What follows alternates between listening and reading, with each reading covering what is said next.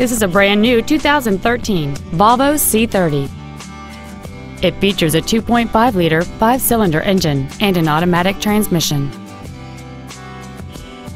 Its top features include a turbocharger, a power sunroof, heated seats, a low tire pressure indicator, Sirius satellite radio, and traction control and stability control systems. The following features are also included. Front seat with memory settings, air conditioning with automatic climate control, cruise control, a leather wrapped steering wheel, performance tires, an independent rear suspension, an illuminated driver's side vanity mirror, an anti lock braking system, heated side view mirrors, and aluminum wheels. Please call today to reserve this vehicle for a test drive.